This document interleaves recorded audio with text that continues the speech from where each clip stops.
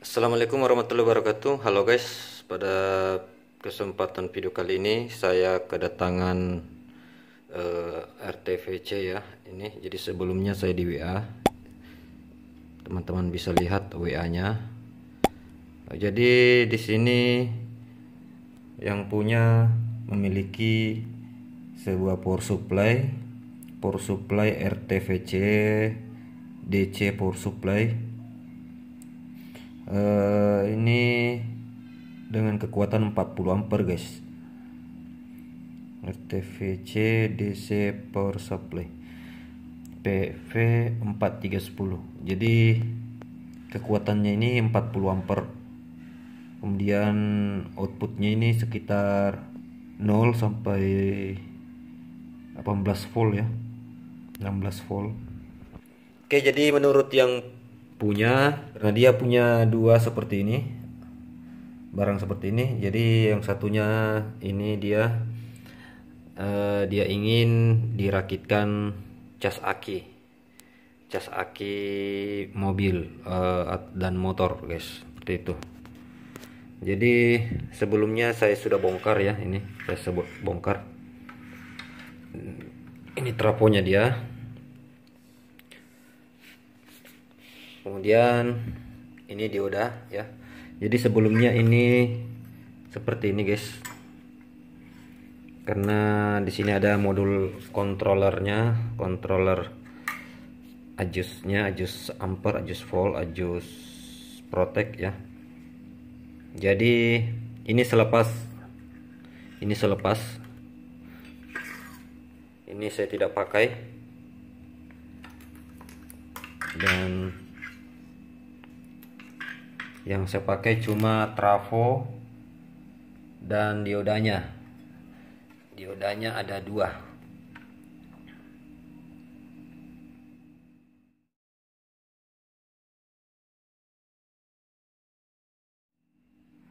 Jadi ini sudah saya coba rakit guys ya. Dengan rakit sederhana dulu karena ini rencananya saya akan bikin uh, beberapa pilihan ampere nanti dengan menggunakan saklar putar ya. Uh, untuk mobil dua dua macam ampere dan motor dua macam ampere jadi mobil bisa uh, kita pakai cas beberapa aki uh, dan bisa juga cukup untuk satu aki. Kemudian motor juga demikian bisa satu aki dan beberapa aki. Tapi itu nanti saya rakit ya. Jadi saya hanya tes dulu untuk sementara ini untuk kipas saya ada rangkaian tersendiri ya. Ini tidak saya ganggu tapi saya pasangkan elko. Elko 470 eh, mikro dengan 50 volt ya. Ini dia.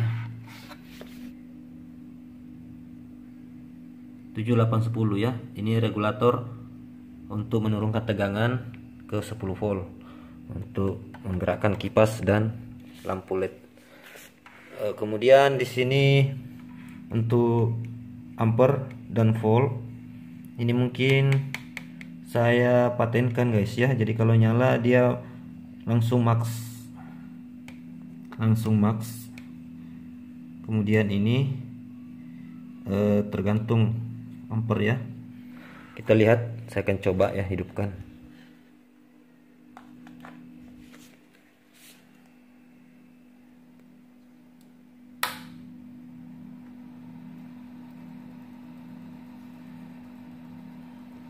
jadi ini masih kasar sementara ini ajus ini saya pasang sementara saja. Jadi nanti ini bukan lagi fungsi seperti ini.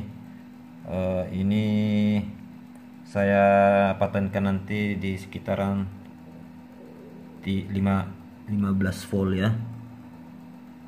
Ya kemudian uh, di sini nanti saklar putar untuk mengganti ampere kemudian ini ampernya. Ini sudah bekerja tapi tidak tidak seakurat mungkin guys ya. Karena saya hanya pakai resistor batu. Ini.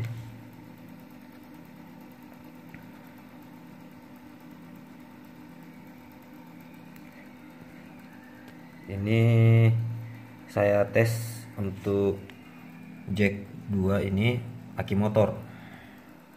Dan ini resistor 100 ohm 2 biji guys. Jadi sekitar 50 ohm. Sedangkan ini karena tidak ada resistor jadi saya coba pakai 0,22 sini bisa 0,1 Di sini saya ada aki motor guys. Saya akan coba ya.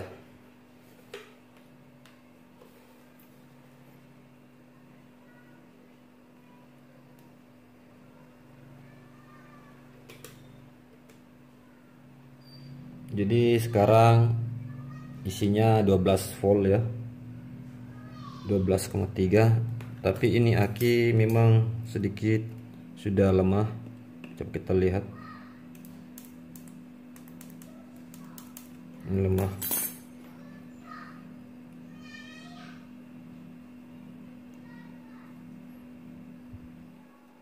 oke saya akan coba cas ya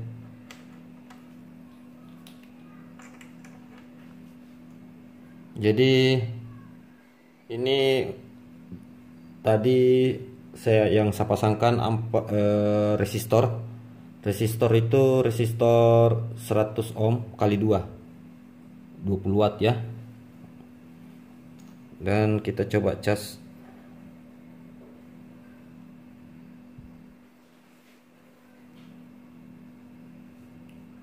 Kita lihat tegangan outputnya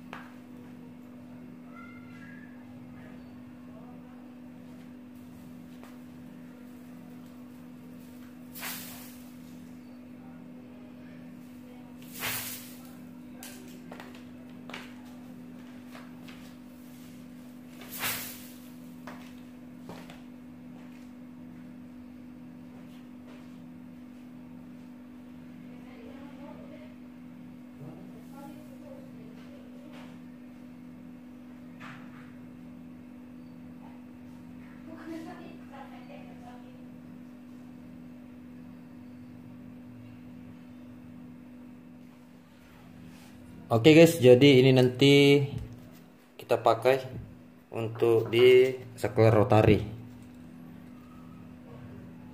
Uh, saya akan pakai ini untuk mobil karena motor ini sudah stabil ya. Sisa ditambahkan satu lagi untuk bisa bisa cas banyak, uh, cas aki banyak. Kalau ini satu saja guys, ini tidak mampu kalau barang dua aki ya kemudian ini kita bisa cas sekitar 2 jam 2 jam saja guys. Oh, seperti ini. Jadi ini nanti saya akan pasang. Ini resistor 20 watt 10 ohm. Uh, saya pakai nanti satu kemudian tiga. Ini satu untuk untuk mobil banyak eh baki banyak ya. Ini. Kemudian ini ini juga bisa mobil trek. Kemudian ini untuk satu aki. Seperti itu guys. Istilahnya ini kalau di cas aki itu 12 volt sedangkan ini 12 volt high ya. Seperti itu guys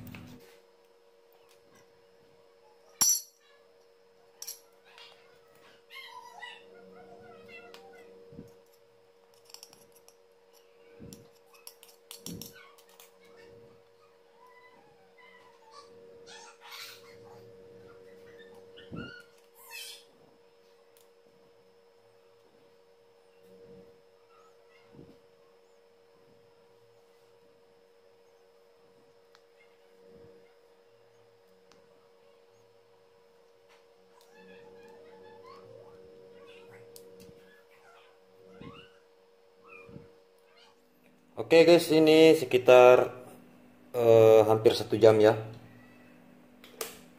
Sekitar 30 menitan. Sudah 13,6.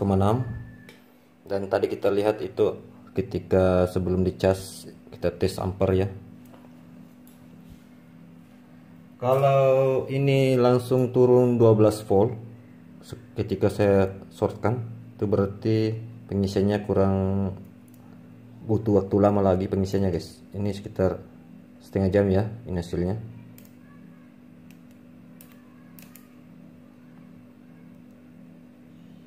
kita lihat jika dia naik berarti bagus. Namun jika dia turun itu masih perlu butuh waktu lama untuk pengecasan.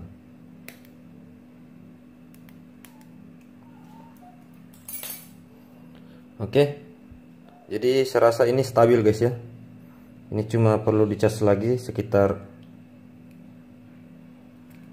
uh, eh, 30 menit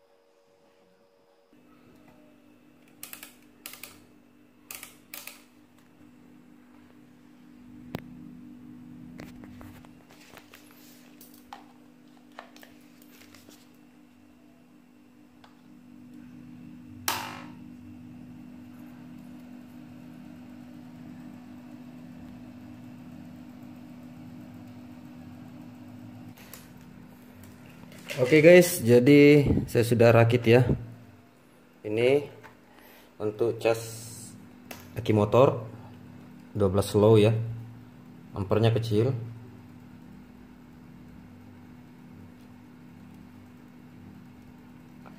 Jarum juga goyang guys ya. Ini. Terus kalau untuk aki mobil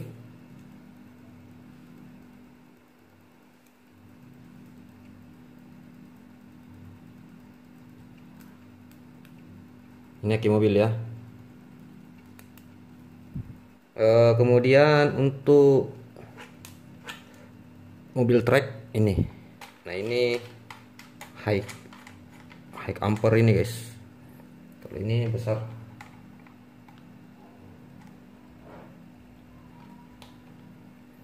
Jadi ini saya tidak pakai istilah ubah-ubah lagi jadi ini paling tinggi.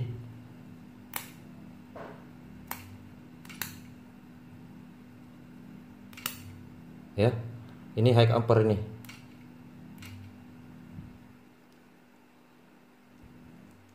Empat puluh. Jadi ini bisa mobil mobil track aki track.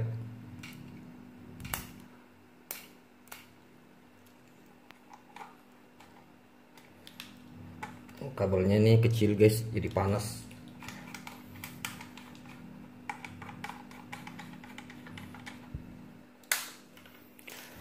Oke, jadi di sini saya cuma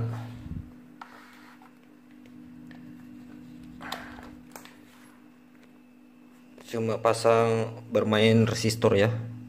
Di sini saya cuma bermain resistor. Ini untuk aki motor. Ini aki mobil kecil ya. Bisa sampai 2 3 aki. Nah, terus ini yang high-nya yang 24 terus untuk ini dua saya bikinkan saklar rotari ya untuk mengganti. Kemudian untuk uh, ini saya cuma ambil langsung ke positif negatif yang 24 terus saya pakai resistor resistor 470 eh, 47k ya 47k tambah 10k jadi 50k lah. Pokoknya bisa 57k atau 60k untuk ini supaya tidak bisa dimainkan di situ ya. Uh, karena ini tegangannya tidak ada ya yang turun ya. Cuma ampere yang kita mainkan. Uh, untuk kipas di sini ada regulator sedikit uh, regulator bawaan ya. Seperti itu. Dia udah juga masih bawaan semua sama trafo cas aki yang bagus seperti ini langsung. Makanya ini selepas semua. Karena ini model-model power supply. Jadi bagusnya kalau untuk aki langsung ya trafo dengan dioda. Itu supaya bisa stabil pengisiannya. Jadi di sini memang tinggi outputnya 25 25 guys ini. Outputnya 25 tapi ketika ada beban dia akan turun. Jadi seperti itu memang pada umumnya cas aki ya. Outputnya ini rata ya kiri kanan ini semua sama. 25 25 semua. Biar yang ini sama. Cuma kita bermain ampere guys. Ini 25 ya. Kenapa? Karena trafonya trafonya itu sudah tidak bisa diubah guys. Outputnya. Trafonya ini untuk power supply RTVC itu tidak bisa diubah lagi. Outputnya kecuali kita uh, bongkar lagi trafo gulung ulang untuk khusus cas ya bisa juga dibuatkan rangkaian tapi uh, itu lama guys ya. Dan sebenarnya untuk cas aki bagusnya langsung trafo seperti itu e, jadi karena ini outputnya sudah seperti itu 25 jadi kita hanya bermain ampere ini ya. Kita hanya bermain resistor. Ini resistor e, 50 50 ohm. Semua 20k ya kecuali yang ini. Karena tidak ada lagi jadi ini 50 ohm terus ini 5 ohm. 5 ohm semuanya ya. Ini eh, 0,1 0,1 ohm. Ini kecil sekali ini paling kecil guys ya. Jadi ini kenapa 10 ohm 10 ohm itu tapi ketika kita gabungkan 10 ohm 10 ohm itu sekitar 4 biji itu jadinya uh, sekitar 2,5 ohm ya. Ya sekitar 2,5 2,5 ohm ya sekitar 3 ohm lah ini. Nah sedangkan ini 100 100 ohm tapi dua biji jadi 50 ohm jadi untuk skemanya saya buatkan gambar sederhana guys ya. Seperti ini. E, kemudian untuk protek saya tidak pakai. E, kemudian untuk indikator full charge hanya bergantung pada jarum ampere jadi kalau jarum ampere sudah turun itu casnya sudah mulai full. Seperti itu guys ya. Semoga bisa dipahami. Uh, kalau ada yang salah eh, mohon saya dimaafkan ya. Namanya juga manusia. Oke? Okay? traponya mantap guys. Ini cocok memang. Untuk pengisian yang stabil yang terbaik itu ampere harus memang bagus ya. Semoga bermanfaat guys ya untuk video kali ini. Oke saya akhiri. Assalamualaikum warahmatullahi wabarakatuh